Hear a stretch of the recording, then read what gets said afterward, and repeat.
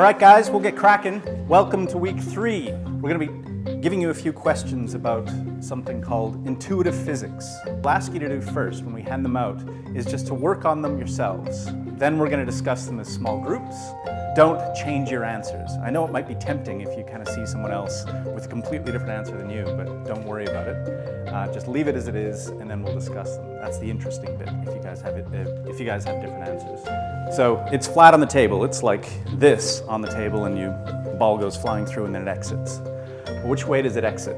Uh, a lot of people think that the ball goes through the, the coil and then exits and continues on that trajectory. How many people went with this one when it continued on that direction? Two? I know I've seen more than that. Come on. I saw a good five or six of those. And the correct answer directly out. Yeah. Uh-huh. Sure.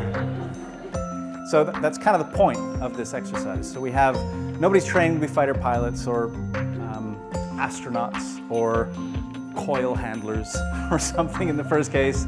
You don't have a lot of experience with these types of problems, even though they are fairly counterintuitive. A lot of people don't see these uh, solutions. The, the, the punchline here is that there's nothing that's going to happen if you're wrong in these particular cases. Your understanding of how these sort of things work is good enough to get you by. You're all living, right? You've, you've functioned pretty well this far. It's, it's pretty important um, that you understand that these, that these heuristics, these shortcuts, these rules of thumb that we're going to be talking about in this course, um, your failings in a sense, your irrationalities are aren't really failings in any sense. They're, they're almost sufficient to get you by in the world. They're, they're good enough. Uh, people who are, grew up in East Asia, so are culturally East Asian, uh, Mongolia, Chinese, Japanese, they prefer this image here on the right.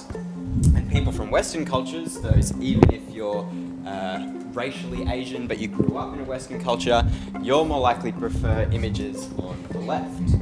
Yes, one of the one of the the explanations for this, or the uh, interpretations, is that East Asians prefer context in the images that they uh, they create and generate, whereas Westerners it's more um, it's more object and person based than it is context based. Try to guess which pictures were drawn by people from Western cultures versus East Asian cultures.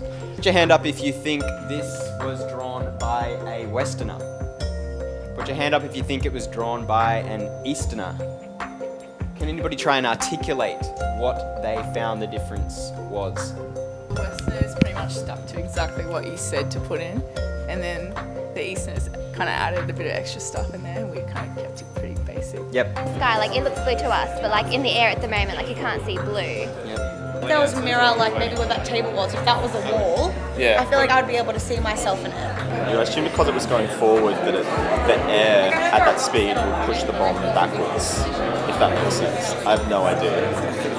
And I, I really have no idea about physics, and I was just kind of, you know, it's moving forward, which would kind of push it back a little bit, that sort of thing.